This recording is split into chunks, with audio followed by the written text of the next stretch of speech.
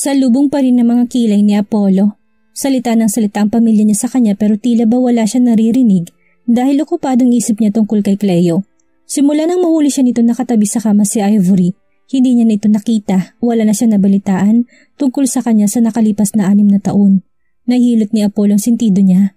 Pinahanap niya noon si Cleo dahil gusto niyang malaman kung okay lang ba siya o kung masaya na ba siya pero walang nangyari sa pagpapahanap niya dahil wala na pala sa bansa sa Cleo. Apollo, nakikinig ka man lang ba sa amin? Malakas na namang sigaw ng kanyang ina. Wala ba siyang maririnig sa maghapon ito kung hindi malakas sa sigaw ng kanyang ina? Hindi pwedeng makuha ng babae na lahat ng shares ng kumpanya natin. Manang-mana talaga siya sa lolo niya Kinuha nilang kumpanya noon sa lolo mo at hindi hindi ko ahayaan na sa kanya naman mapupunta ang kumpanyang pinaghihirapan namin ng daddy mo para mapasa iyo balang araw. Anas niya na naman. Hanggang ngayon hindi pa rin niya matanggap na malaki ang shares na hawak ni Cleo. Nanginginig naman na ang kamay ni Ivory nang malaman niyang bumalik na si Cleo. Pinagsalikop niyang mga daliri niya dahil ang akala niya'y hindi na babalik si Cleo. Apollo, shit! Hindi na rin mapigil ang sigaw ni Apollo Rinding-rindi na siya sa sigaw ng kanyang ina. Can you please stop shouting, mom? Ang sakit sa tenga? Can't you see that I'm thinking? Kung gusto niyong paalisin kaagad si Cleo sa kumpanya, mag-isip din kayo hindi yung iaasa niyo sa akin. Kung gusto niyong makuha ang lahat ng hawak niyang shares, bilhin niyo kung ibibigay niya sa inyo. May diin na rin sa ad. Yang magaling mong ex ang nagmamayari ng halos kalahati ng shares. Kapag nabili pa niya ang shares ng ibang shareholders ng kumpanya, Walang kahirap-hirap niyang makukuha sa iyong kumpanya Apollo. Kaya mag-isip ka. 30% shares ang hawak niya at 5% lang ang kailangan niya para mapantayan ka niya. Oh God! Napapahilot na lang sa noon niya si Corazon dahil simula nang bumalik si Cleo, na-stress na siya sa dumagdag pang pagiging major shareholder ni Cleo. Ang laking ng hawak niyang shares. 30% shares is not a joke. Apollo do something! Sigaw na naman sa kanya ng kanyang ina.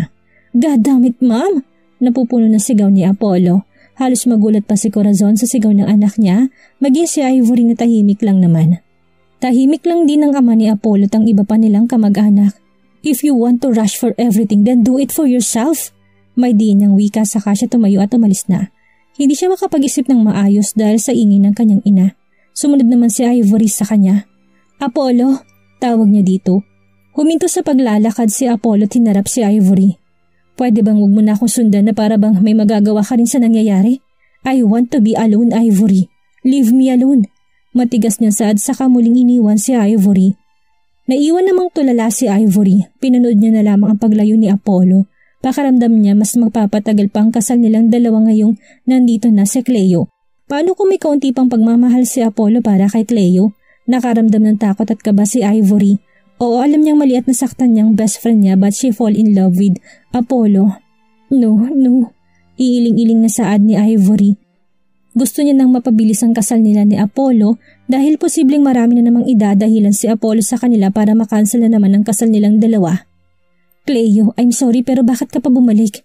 Anya, naikuyom ni Ivory ang kamao niya. Hindi pa niya nakikita si Cleo pero tila ba hindi niya nakaya itong harapin. Napapaisip siya kung ano bang itsura ni Cleo Anong klasing tao na ba siya ngayon? Napapalunok na lang si Ivory.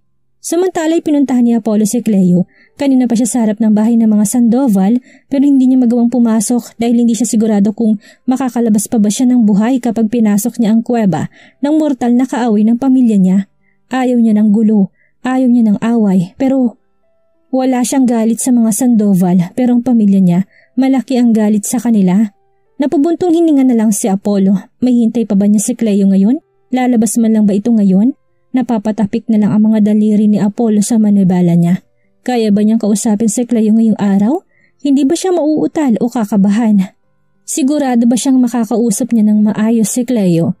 Hindi niya alam kung makakausap niya ba talaga si Cleo, lalo na't malaki ng pinagbago niya. Ang mga titig ni Cleo sa kanya sa conference room, hindi niya yung magawang titigan.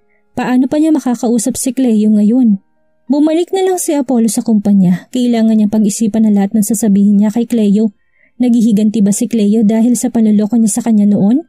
Napagdesisyon na ni Apollo na hiwalayan na lang si Cleo dahil alam niyang walang patutunguhan lihim nilang relasyon. Hindi rin naman ibibigay ng pareho nilang pamilya ang basbas para sa kanilang dalawa. Alam niyang ginawa niya lang ang tama para pareho silang hindi na masaktan pa. Pero bakit bumalik si Cleo? Alam naman ni Cleo kung anong hidwaan ang meron sa pamilya nila. Pero bakit niya piniling pumasok sa kumpanya ng mga Montero? Pakiramdam ni Apollo, sasabog ang ulo niya sa kakaisip ano ba talagang posibleng dahilan ni Cleo kung bakit niya ito ginagawa. Apollo, anas na naman ni Ivory. Binuksan ni Apollo ang laptop niya at kunwaring may ginagawa pero alam niya nagpapanggap lang si Apollo para hindi siya kausapin. Can you please talk to me? Tiniklop ni Ivory ang laptop ni Apollo kaya matatalim ang tingin ni Apollo sa kanya. What do you need? Blankot malamig niyang tanong. Magpakasal na tayo. Diretsong wika ni Ivory na ikinatawan ni Apollo. Can't you wait? Wait again? Sigaw niya ni Ivory. Apollo, ilang taon na ako naghihintay sa'yo. Pinagbigyan kita ng mga nakaraang taon dahil valid naman ang reason mo. Pinagbigyan kita dahil naintindihan ko pero ngayong nakuha mo ng posisyon mo bilang CEO ng kumpanya, ano pa bang dahilan mo para hindi pa natin ituloy ang kasal natin? Apollo, hanggang kailan ako maghihintay? You promised me that you'll marry me tapos paghihintayin mo na naman ako? Hindi alam ni Apollo kung kailan ba siya magkakaroon ng tahimik na buhay. Kapag uuwi siya ingay ng kanyang inang naririnig niya. Tapos dito sa opisina niya ingay naman ni Ivory. Napahilot na siya sa sentido niya. Ivory, darating din tayo dun. But not now please. Let me rest for a while. Seven years, eight years, nine or fifteen years. Ilan taon na ako maghihintay, Apollo? Ivory, did you forget? Ikakasal lang naman tayo dahil sa kasunduan ng mga pamilya natin. Hindi dahil sa mahal natin ang isa't isa. Maybe you love me but did you think about how I feel? Diretsong saad ni Apollo na nakapagpatahimik kay Ivory. Hindi siya nakaimik kaagad at napaawang ng bahagya ang bibig niya. Gusto ko lang magpahinga, hindi mo ba kayang ibigay sa akin yun? Dagdag pa ni Apollo. Nang hindi magsalita si Ivory ay tumayo na lang si Apollo gusto niya ng tahimik na paligid, kaya siya na lang ang aalis. Bago pa man malampasan ni Apollo si Ivory, nagsalita na si Ivory. Did you still love her? Is it still her? Tanong ni Ivory. Hindi tanga si Apollo para hindi niya malaman kung sino tinutukoy ni Ivory. Hinarap ni Ivory si Apollo. Gusto niya marinig ang sagot mula kay Apollo. Siya pa rin bang dahilan kung bakit hindi mo ko kayang pakasalan? Hinihintay mo lang ba siyang dumating so you can win her back? Apollo, Nasaan ako sa loob ng anim na taon na nakasama mo? Ako yung palagi nandito para sa'yo. Ako ang kasama mo habang tinutupad mo mga pangarap mo. Ano bang nakita mo sa kanya na hindi mo makita sa akin? Halos maiyak na saad ni Ivory. Natatakot na siyang maiwan siya sa ere. Natatakot siya mapag-isa. Gusto niya magpakasal na sila ni Apollo para wala nang kawala si Apollo at kahit na bumalik na si Clay wala na silang magagawa para ayusin ang nasira nilang relasyon. Rest. That's all I want. Tanging sagot ni Apollo sa katuluyang umalis ng office niya. Hilaw namang tumawa si Ivory kasabay ng paglandas ng mga luha niya. Siya pa rin ba? Si Cleo pa rin bang mahal niya? Pinalis ni Ivory ang mga luha niya. Kahit naman na mahalin nilang isa't isa, hindi pa rin magiging sila. Hindi sila magkakaroon ng magandang wakas dahil sa idwaan ng mga pamilya nila. Yun ang magagamit ni Ivory na alas para mapasa kanya si Apollo. Samantala naman ay nasa pool si Cleo, enjoying swimming. Wala ang anak niya dahil iginala na naman siya ng mga tito niya. Hindi siya nag-aalala dahil mga pinsan niyang kasama na anak niya. Pabalik-balik lang ang paglalangoy niya sa napakalalim na tubig. Hintayin niyo na lang po siyang umahon. Ihatiran ko lang po kayo ng merienda. Saad ng isa sa mga katulong ni na. Napangiti naman ang lalaki sa kamuling tiningnan si Cleo lumalangoy pa rin. Naka one piece lang siya at kitang-kitang kurba na maganda niyang katawan.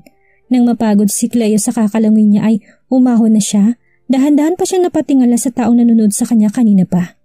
Zoro? Gulat na sad ni Cleo na makita niya si Zoro. Natawa naman si Zoro at napakibit balikat. Oh my God, it's you! Anas pa ni Cleo sa nagmamadaling umahon sa tubig. Inabot naman ni Zoro ang bathrobe ni Cleo. Tuwang-tuwa siyang niyakap ni Cleo si Zoro. Bakit hindi ka nagsasabing pupunta ka dito? Kararating mo lang ba? Tanong ni Cleo. Naupo na silang dalawa at sakto naman ang pagdating ng katulong para ibigay ang merienda nilang dalawa. Kararating ko lang. I want to surprise you that's why I didn't tell you that I am coming here. Sagot naman ni Zoro. Anong gagawin mo dito? Magbabakasyon? Natawa naman si Zoro sa kanya inilingan si Cleo. No, I have a business here so I'll stay here. Nalaki ang mga mata ni Cleo. Natutuwang makakasama nila dito sa Pilipinas si Zoro. Si Zoro ay nakilala niya sa kumpanyang pinagtatrabahuhan niya sa England at pareho silang Pilipino. Really? What business? Nagtatakang tanong ni Cleo dahil wala namang sinasabi si Zoro sa kanya na may business na siya. I invest my money and that company wants me to work with them. They offered me to the position as a COO dahil Nalaman nilang background ko. Natutuwa niyang balita. For real? Congrats! Bakit hindi mo sinasabi sa akin? Pinaglilihiman mo na ako ah. Nakakatampo ka na. Natatawa lang naman si Zoro. Ginulo niyang buhok ni Cleo kahit nabasa yun. It's a surprise nga, di ba? Where's Brixton? Lumabas siya kasama ng mga pinsan kong lalaki. Mamaya pa yun sila uuwi. Gusto mo bang hintayin? Sure, sagot naman ni Zoro. Magmerienda ka na muna at magbihis lang ako. Honest ni Cleo sa kainiwan na sa pool si Zoro para makapagbihis na sa ganun ay makapag-usap na sila habang naghihintay kay Brixton. Binilisan niya na lang pagligo niya at nang matapos siya binalikan niya na si Zoro. Before I forget, may dadalon kasi akong party bukas. Maybe you can be my partner for that night? Party? Kunuto namang sad ni Cleo.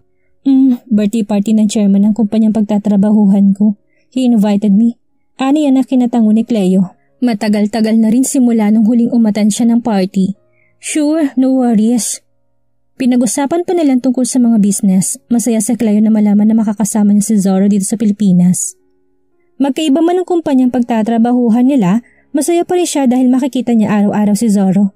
Na dumating ang pamilya ni Cleo nagtataka sila na may kasamang lalaki ni Cleo. Nakatitig lang sila kay Zoro. Who is he? Tanong ng ama ni Cleo sa kanya. He's my friend dad habang nasa England ako. Magkasama kami sa kumpanya and sa Pilipino too. Kaya naging close kami. Pagpapakilala naman ni Cleo. Napatango-tango naman namang magulang niya. Hindi naman nila pinipigilan si Cleo kung sinong magiging kaibigan o maliligaw niya. Pinag-usapan lang nilang tungkol sa business at nabanggit ni Zoron tungkol sa kumpanyang pagtatrabahuhan niya. Why didn't you tell me? Sa kumpanya ka na lang sana nagtrabaho. Anas ng ama ni Cleo. Bahagya lang naman tumawa si Zoro. Ah, hindi po kasi nababanggit sa akin ni Cleo na may kumpanya palang pamilya niya. Kung alam ko lang po na mas maaga baka doon po ako nag-apply at hindi na tinanggap ang offer sa akin ng ibang kumpanya. Tiningnan ni Gonzalo ang anak niya. Hindi kita maintindihan anak. Hindi mo na nga piniling magtrabaho sa kumpanya natin tapos hindi mo pa sinabi na may magaling ka palang kaibigan pagdating sa negosyo. Anas niya sa anak niya. Nakibit balikat lang naman si Cleo sa ama niya kaya napapailing na lang si Gonzalo sa anak niya. Nagpatuloy pang pag-uusap nila tungkol sa negosyo. Naputo na lang yun ng isa sa mga business partner ng daddy niya ay tumawag. Muli silang naiwan ng dalawa nang kinailangan ng ama niya na umalis. Daddy Zoro? Napatingin silang dalawa sa pintuan na marinig nilang boses ni Brixton. Natuwa naman si Brixton na makita niya si Zoro. Daddy Zoro! Tuwang-tuwa niya saad at mabilis na tumakbo para yakapin si Zoro. Binuhat ni Zoro si Brixton at ginulong buhok nito. Kailan pa po kayo? Why you didn't tell me as that you're coming po? Tanong pa niya. Naupo naman ang mga pinsan ni Clay at uminom na lang ng juice. Sinundan ka pala rito na maliligaw mo, no? May hinasaad ni William. Kuya? Pinanalakihan ng mata ni Clay yung kuya William niya. Natawa lang naman si William. Hindi naman sa hindi nila gusto si Zoro para kay Cleo. Natatakot lang sila na iwan ni Zoro si Cleo kapag tuluyan na nahulog ang pinsan nila kay Zoro. Kapag nangyari yun, baka mabatay sila ng tao. Bibisita ka lang ba dito, Zoro? Tanong ni Mark. Binaba ni Zoro si Brixton saka sila naupo. No, I have a business and work here, so I'll stay here. Sagot naman niya na kinatangulang ng magpipinsan. Nag-excuse si Zoro na may tumawag sa cellphone niya. Ayos din niya si Zoro ah, kahit nasan kayo magina nandun din siya. Ang tagal na ligaw niya sa'yo, hindi mo pa sinasagot. Pinalakihan ni Cleo na matang kuya Mark niya. Kuya, hindi naman naliligaw sa akin yan ni. Eh. May hina niyang saad. Nahiya siya na baka marinig ni Zoro ang sinasabi ni Mark. Ganon na rin yun. Kilala namin ng mga kapwa namin lalaki. Hindi man niya sabihin diretso sa'yo na nararamdaman niya. Ipaparamdam niya yun. Wala namang masama kung magkakaroon ka ng maliligaw, Cleo. Basta tanggap ka niya tang anak mo. Okay na kami doon. Napapailing na lang si Cleo sa sinasabi ng pinsan niya. Pagkatapos kausapin ni Zoro ang kausap niya sa cellphone ay bumalik na siya sa sofa. I have to go now. I'm sorry. Thank you for your time everyone. Sad niya. Bisita ka madalas dito, huwag ka lang mahihiya. Wika ni William na ikinangiti ni Zorro. Matagal na nilang kilala si Zorro, nakakasama kasi nila ito noong nasa England pa lang at kung ligawan man niya si Cleo, hindi man nila ito pipigilan. Salamat, pakisabi na lang kay Brixton na umalis na ako. Bisitahin ko na lang siya next time. Anas niya kay Cleo. Walang problema, mag-ingat ka. Nagpaalam na si Zorro at umalis na. Tumayo na rin si Cleo at pinuntahan ng anak niyang nagbibihis pa sa kwarto. Is daddy still there? Tanong na anak niya sinusuot pa lang ang damit niya. Bibisitahin ka na lang daw niya next time baby. Nagmamadali na kasi siyang umalis dahil may gagawin pa siya. Napatango nila si Brixton at nginitian ng ina. Okay po, sad niya. Binuhat na ni Clay yung anak niya sa kasalabuban ng kwarto para makapagmerienda na muna to. Samantala naman, kausap ni Ivory ang mga magulang ni Apollo tungkol sa kasal nila. Napahilot na lang si Corazon sa noon niya nang malaman niyang pinapaliban na naman ni Apollo ang kasal nila ni Ivory. Hayaan mo iha, kakausapin ko siya. Alam ko matagal ka na naghihintay sa kanya at nakakahiya na rin sa mga magulang mo. Don't worry, walang ibang mapapangasawa si Apollo kung hindi ikaw lang. Walang ibang babae kaming tatanggapin sa pamilyang ito kung hindi ikaw lang. Napangiti naman si Ivory. Salamat po tita, pinagbigyan ko na po si Apollo sa gusto niya. Nung sinabi niya sa akin na gusto niya na muna maging CEO bago ako pakasalan, Pinagbigyan ko po siya. Wala naman na po siguro siyang idadahilan sa akin ngayon. Kung ayaw po niya, wala na po kung magagawa. We need to cancel the wedding. Hinawakan ni Corazon ang kamay ni Ivory tinaplos ito. Hayaan mo kausapin ko muna siya iha, okay? Don't tell this to your parents. Mga pamilya rin naman natin na makikinabang kapag nag-merge ang mga negosyo natin. Anas niya. Tumangon naman at bahagyang umiti sa Ivory. Ikaw lang ang tatanggapin ko para sa anak ko kaya nakikiusap ako sa yung intindihin mo pa siya. Dagdag pa ni Corazon. Muling tumango si Ivory. Ako nang kakausap sa kanya Ivory. Ikakasal kayo as soon as possible. Sabat na rin ng ama ni Apollo na mas lalong kinangiti ni Ivory. Salamat po tito. I have to go now. Gabi na rin po kasi. Pagpapaalam niya. Akmang tatayo na sana siya nang pigilan siya ni Corazon. Dito ka na lang matulog. Hintayin mo si Apollo sa kwarto niya. Ako na magsasabi sa mga magulang mo. Hindi naman na kayo mga bata para pagbawalan pa namin na wag mo na magtabi. Nahihiya namang umiti si Ivory dahil ngayon lang siya hinayaan na patabihin kay Apollo. I'm okay tita, uuwi na lang po. Sige na, doon ka na matulog sa kwarto niya. Pagpipilit ni Corazon. Hinila na ni Corazon ang asawa niya papasok ng kwarto nila at naiwan namang mag-isa sa sala si Ivory. Wala namang nagawa si Ivory kundi pumasok sa kwarto ni Apollo. Napapangiti na lang siya dahil ilang taon na ba simula nung huli na atuna nilang Natulog ng magkatabi, anim na taon na nakakalipas. Naghintay si Ivory sa kwarto ni Apollo pero alas 10 na ng gabi hindi pa rin ito umuwi. Inaantok na naghihintay si Ivory sa upuan malapit sa side table ni Apollo. Nang hindi niya mapigilan ang antok niya ay nakatulog na siya. Gabi naman na makauwi si Apollo. Napapahilot na lang siya sa sentido niya na makita niya si Ivory na natutulog sa upuan. Hindi niya naman na ito ginising pa dahil hindi niya nakasalanan kung doon natulog si Ivory. Pumasok si Apollo sa walking closet niya at nilatag ang foam na extra sa kasya natulog. Pagising ni Ivory kinabukasan hindi niya nakita si Apollo sa kama. Ngalay na ngalay din ang leeg niya dahil sa upuan siya nakatulog. Hindi man lang siya nagising ng madaling araw para sana nakalipat man lang sa kama. Hindi niya nakita sa kama si Apollo tila hindi man lang yung nakusot.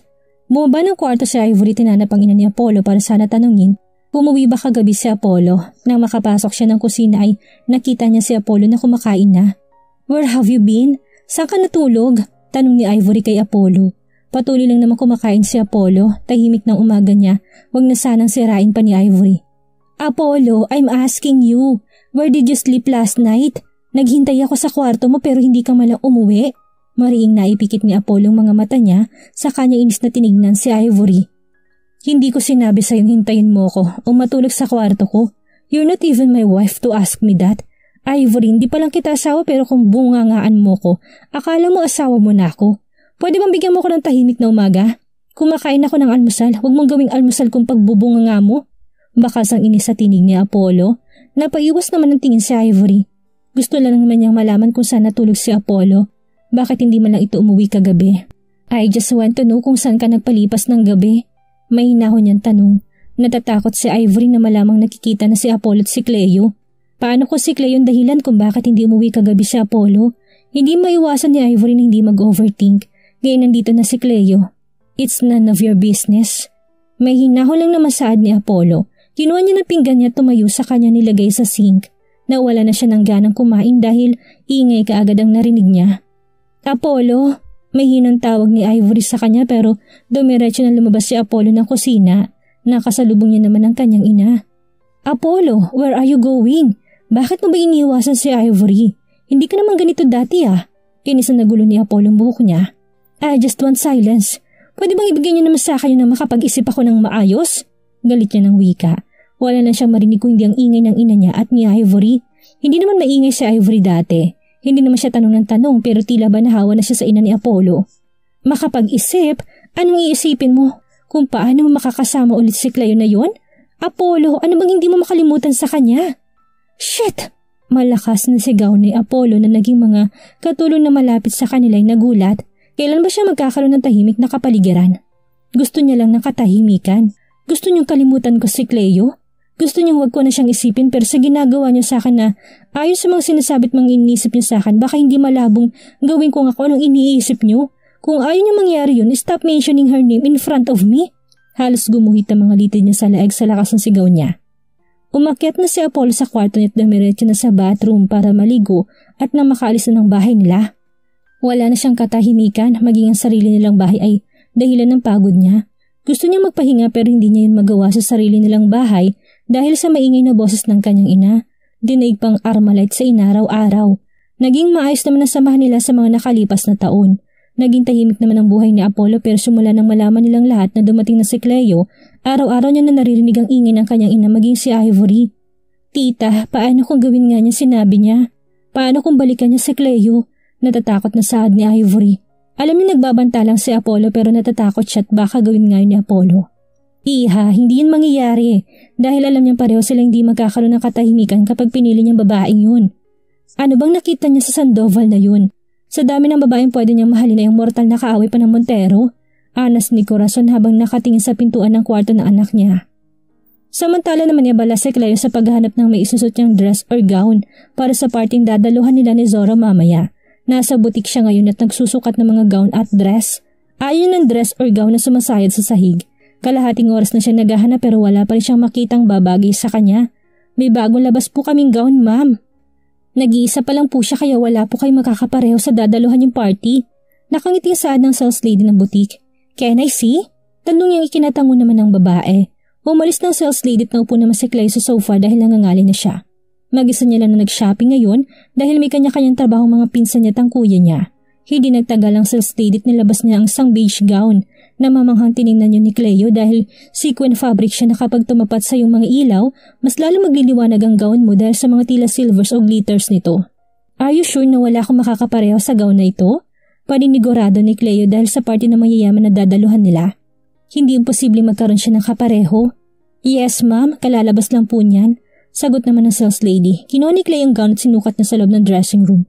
Tiningnan niya ang kabuuan niya at saktong-sakto sa hugis ng katawan niya ang gown Long sleeves ito pero hindi makapal ang tela niya dahil makikita pa rin ang balat ni Cleo. Tila pinatungan lang ng mga silver or glitters ang kamay niya. Tiningnan niya rin ang style ng likod at tumambad sa kanya maputi niyang balat. Napatangon lang siya dahil nagustuhan niya rin ang style ng gown. Matapos ng sukatin ay lumabas na rin siya at binalik sa sales lady. I'll buy that, saad niya. Habang binabalot naman ng sales lady ang binili niya, nagbayad na siya sa counter using her card. Matapos siya mag-shopping, dumiretso na siya kagad sa salon para makapagpalinis ng kuko niya at sa paat sa kamay. Wala naman siyang gagawin sa maghapon na ito maliban sa atan sila ni Zoro ng party mamaya. Lumipas ang oras, inaayusan na ni Clay ang sarili niya. Mag-isa niya nang naglalagay ng makeup sa mukha niya dahil kaya niya naman, ayaw niya kasi masyado makapal na makeup o maraming patong-patong ng mga makeup products sa mukha niya. Tiningnan niya oras at malapit na mag alas Siguradong anumang oras ay darating na si Zoro para sunduin siya. Sinot niya ang gown niya, napangiti na lang siya sa sarili niya ng salamin dahil para bang nilan sa kanya ang gown. You're so beautiful, ma'am! Puri ng anak niya, hinarap ni Clay yung anak niya at kinurot ang pisngi nito. Magaling namang bola anak ko ha? Sumabay ka ng kumain kina mamila. Okay, matulog ka na rin pagkatapos dahil mamaya pa ako makakauwi. Understand? Opo. Magalang niyang sagot, nagulo ni Clay yung buhok ng anak niya. Habang lumalaki si Brixton ay mas lalo niyang nagiging kamukha ang ama. Hindi naman mapipigilan ni Cleo dahil kanino pa ba magmamana ng itsura anak niya kung hindi sa tunay na ama nito. Anak, nandito na si Zoro. Rinig ni Clay yung sad ng kanyang ina. Hinawakan ni Clay yung kamay na anak niya saka sila sabay na lumbas sa kwarto. Nagmistulang escort ni Clay yung anak niya habang bumababa sila ng hagdan. Nasa kanyang atensyon ng mga pinsan niya at ng kuya niya, lalong-lalo na si Zoro. Nangingibabaw ang ganda ni Clay sa gabing ito dahil ngayon na lang ulit siya nagsuot ng eleganting gown at magayos ng sarili niya. Wow, baka naman ikaw na maging face of the night niyan ha? Saad ni William na makababa sila ng hagdan. Do you need an escort? Tanong ni Christoph sa kapatid niya. Huy, anong tingin mo kay Zoro, hangin? Siya nang escort kay Epal ka pa. Anas ni William kay Anthony. Napairap na lang si Christoph kay William. Hindi na baby ang kapatid mo, Christoph. Darating talagang araw na hindi lang tayong ituturing niya bilang isang prinsesa. Kaya tanggapin mo na yun. Look at her, she's not a kid anymore. Na umiyak magtatago pa rin sa likod natin. Na nasaktan tayong takbuhan. Dagdag din ni Norman. Yeah, whatever. Masungit na saad ni Christoph sa kapinatong mga paa niya sa ibabaw ng center table. Huy Zoro, ingatan mo yan ha. Kapag nasaktan lang yan o nagasgasan ng balat niya, makakatikim ka talaga sa amin. Pagbibiro ni Mark. Don't worry, I'll take care of her. Sagot niya naman. Bahagyang yumuko si Cleo para halikan sa noong anak niya.